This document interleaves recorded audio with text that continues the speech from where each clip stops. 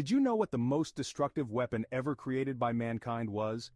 Meet the Tsar Bomba.